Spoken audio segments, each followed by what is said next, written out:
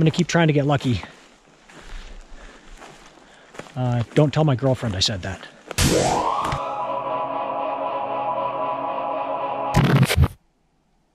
What's up, YouTubers? How's it going? I'm Steve Mattheis. I'm coming at you today from the forest here in Wyoming. It's glorious. It's uh, officially spring. It's uh, it's 65 degrees right now. It says, I don't know that we've had we've had maybe one day in the 70s so far this spring. It's the end of May. So it feels great to be out in some reasonably nice weather. It's partly cloudy up there. And beautiful. And I'm strolling along leisurely today uh, for two reasons. First one being I'm my body's a little bit uh, tired, worked, exhausted, beat up from uh, some a long hike and a long day I had yesterday. So yesterday I was out with Mark Smith, uh, fellow YouTuber, and uh, he came out to the Tetons doing a drive-through, and we went out and looked for owls. And uh, with Isaac uh, from Isaac Isaac Spotts from Isaac's Picks on Instagram, and he also has a YouTube channel. Mark Smith, of course, has a uh, YouTube channel as well. His is a lot bigger than mine. So hopefully you're following those guys. If you aren't, go check them out. And if you like what you see, give them a follow. Uh, but anyway, I had a long day yesterday. I went out, um, I had a workshop in the morning. So that got started at about 4.30 in the morning. I got going and then um, once the workshop was over, I went for a hike to look for an owl nest in a territory that I know they've nested before. I did not find anything there, but I hiked a few miles, kind of bushwhacking through the forest, and that's always kind of exhausting with camera gear and bushwhacking. And then I met those guys uh, at like two in the afternoon. No, three, three in the afternoon, and then we hiked a bunch more, and we actually found an owl, which was awesome, way back in the woods. Uh, but we found it and uh, made a couple of photos and had a great time and uh, I all in all that that entire day I probably hiked 11 ish miles maybe 12 and uh, a lot of it was bushwhacking and just uh, you know getting up that early and a lot of walking and it's early season so I'm not in hiking shape yet. So that was a long day but so now I'm feeling the the pain today a little bit. So I'm just moving slow here. So that's the main reason I'm moving slow reason number two I'm moving slow is because I'm looking for another owl nest here so uh, I'm in. I'm like 20 miles away from where we were the other day, and uh, I'm looking for another owl nest. So this is a known territory of an owl that uh, three three years ago um, their nest blew over during a storm. So uh, I'm hopeful that they have kind of kept this as being their territory and maybe they've found a new suitable nest here. So there, we do have more nesting owls this year than we have in the last two years, which is awesome. And uh, so I came out here and I'm just going to kind of hunt around and just cruise around in the forest, look for owls, look for potential nest sites and scope those out and uh, just see if I can get lucky because you kind of just got to get lucky out here to find a great gray owl nest. And uh, I'm not going to get lucky sitting in front of the computer or in my car. So I'm out here cruising around and I'm walking slowly so I can really observe what's going on, take my time, listen, look. And uh, also, it's so quiet and so beautiful out, and it just smells great. It's springtime. There's like just little little patches of snow left in the forest you know, like this. So everything's still kind of um, moist and green and lovely. And so I'm just enjoying myself, just taking my time, strolling along slowly, letting my body kind of take it easy. And it's great. Um, you know, you're walking around out in the woods and it's quiet and lovely. And uh, it kind of, you know, you kind of tune out a little bit. And that's good. That's good for us humans. It's good for our brains. And uh, kind of makes us, lets the mind wander a little bit. And that's what mine's been doing. Mine's been wandering. But uh, having some time to kind of just think like that is really good for us. And um, I was thinking about one thing I wanted to mention here and talk about on camera. And uh, I just wanted to say thank you to all of my workshop participants uh, this spring. So I've had a busy workshop season, and uh, it's been really good uh, photography wise and uh, professionally wise, and just in so many ways, meeting lots of great people from all over the world. Um, had people from all over the place, um, from the South and the Midwest and the West Coast, and uh, from nearby regionally here, from as far away as Australia, and uh, most of most of my participants were uh, people who watch the YouTube channel. So I'm very grateful for all of that, for YouTube and for all of you guys who are watching the channel and supporting me and, and believing in me to offer you a good experience out here and uh, believing me to help you get better as photographers. So it's been uh, it's been really really cool spring so far. It's nice to have a little bit of time here to get out in the woods by myself. That's always really good for my soul too. But uh, I I just really am grateful for um, such a great spring workshop season and, and all the great people I met and all the great photos we all got to make together out there. So uh, thank you to all of you guys who have signed up for workshops and um, I'm going to continue to keep trying to get better and better and uh, offer you guys a better and better experience. So uh, thank you for that. And uh, now back to the regularly scheduled rambling about being in the woods and photography stuff. So uh, I'll check back in with you hopefully when I find an owl here in a little bit, all right? Let's keep keep the eyes open and keep the mind wandering too. It's kind of good for me. there's got to be an owl out there somewhere, right? It could be sitting right here above me. They're just so hard to see, but there's just a million places an owl could be out here. And uh, I can pretty much guarantee there's one one out here somewhere in the, the couple of miles that I've walked I probably walked right past one. But uh, you just got to get lucky. So I'm going to keep trying to get lucky. Uh, don't tell my girlfriend I said that.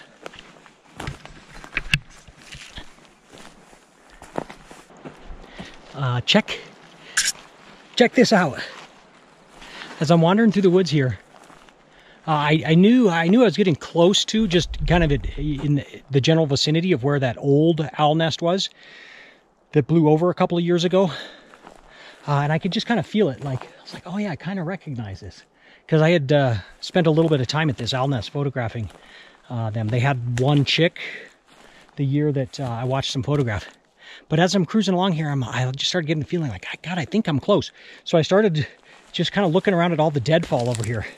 And I spotted this, this big dead trunk right here. And I was like, I think that's the old nest tree laying on the ground right here. And uh, I was in here, like I said, a couple years ago and saw that it, two years ago and saw that it had fallen down, which totally bummed me out. But uh, I'm like almost certain. Yeah, this is this is it. Yeah, yeah. Here, this is it. So this this tree, this big giant old tree here, right up there was the top and that's where the uh, the nest was. So I, I remember, see this smaller log right here? So this smaller log was uh, a feature in the nest, uh, kind of next to the big tree, and it was leaned up against it, and um, kind of made a, a nice little feature in the photograph. But uh, yeah, this is definitely it. So check this out. This this top broken off snag part here Um, obviously looks a lot different than it would have to the owls. But there must have been just enough of a platform in here, uh, kind of a, a, flat spot in here, because this is all rotted out. So there must have been like a, a little flat spot in here where the uh, the owls had a little platform to raise their to raise their young. Might maybe even you know quite a ways down there. Uh, it's hard to say how far down there they actually had a platform to nest on. But this was it. Um, I'll show you, I'll dig out, I'll go through my archives and dig out a picture of what this looked like with the, the mama owl and the chick standing in the nest. And it was shot from back that direction, looking up this way with this smaller kind of broken log out here. Um, that one out there kind of sticking up next to this big chunk where the where the owls were hanging out. So that's pretty cool. I'd, I'd love to find like some old feather or something, but it's been a couple of years, you know, a couple of winters. And uh, so a lot of this stuff has gotten pretty, pretty rotten and nasty. But, uh, yep, 100%. This was definitely the old owl nest. Pretty cool. Uh, I hope you think that's pretty cool, because I think it's pretty cool. But we all have different versions of what we think are cool. And uh, as I think we're all well aware, I'm a bit of a weirdo. But that's it. An old owl nest that unfortunately fell to the ground. So, uh, I'd love to find these owls again and watch them raise some more youngsters.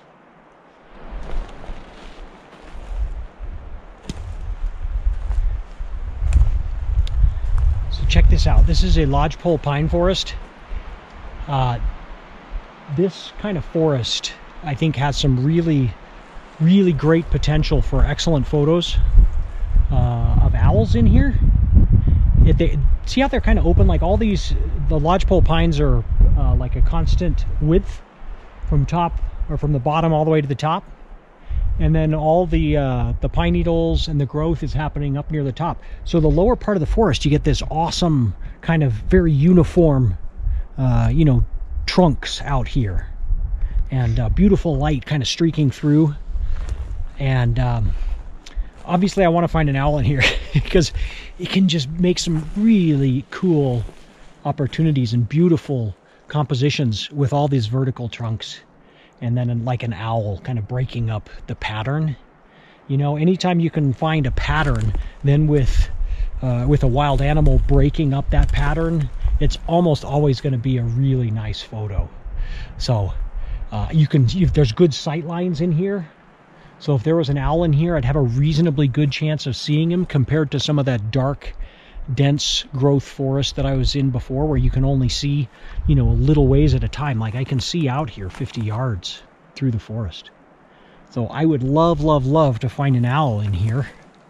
Uh, if I don't, I'm going to pop up here on the screen here in just a second some photos that I've taken in this type of forest before to kind of show you what I mean with the with the beautiful trunks and then uh, the owl kind of breaking up the pattern of the forest. They can just be spectacular. So uh, I'm going to wander around here and look extra hard just in the chance that there's an owl in here.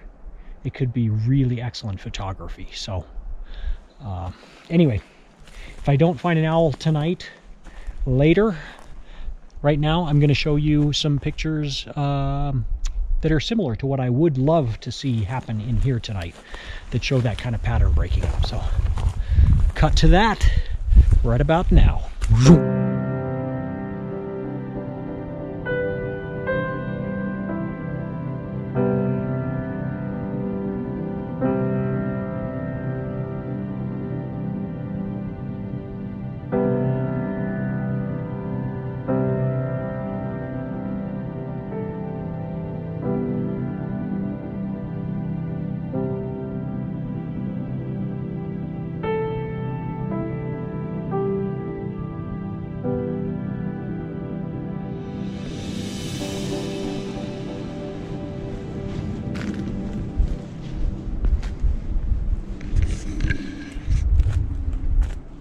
All right, so I guess that's the spoiler. Whoa, that fell off the log. Uh, that's the spoiler. Since you saw those photos, that means I didn't find an owl tonight. Unfortunately, but thank you all for uh, for playing along and watching anyways. Watching as I uh, wander the woods and let the let the thoughts come and go in my head. So this is going to be it. Um, glorious day here in the Tetons. No owls. But everything else about it was pretty damn great. So thanks for watching. Uh, let me know in the comments below what kind of crazy thoughts run through your head while you're out wandering the woods. I'm curious to see what kind of weirdos like me are out there watching my videos. So uh, that's it. I'll see you on the next uh, the next episode. I promise I won't put out another vlog again for a little while where I don't actually make any photos. I hope this isn't turning into a pattern. Uh, all right. Take care. See you next time. Bye bye.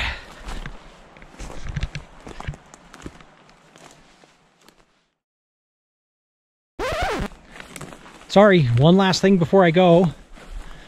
Uh, anybody want to go to Africa? Uh, I am co-leading a workshop in Africa in February of 2020, and it's going to be fantastic. Uh, more details, visit my website, links below. Um, it's going to be a great trip. Going with Sue Cedarholm, who is an excellent tour leader. She has uh, organized and led this trip seven times already. So she's like totally dialed in with uh, the guides and the lodging and uh, everything. She's she's done it all a bunch of times. So she's got all that totally dialed in. And uh, we're to go and have an absolute blast. We're to visit five different parks. And uh, we're to make some amazing images and just have a trip of a lifetime. So uh, I could not be more excited about the trip.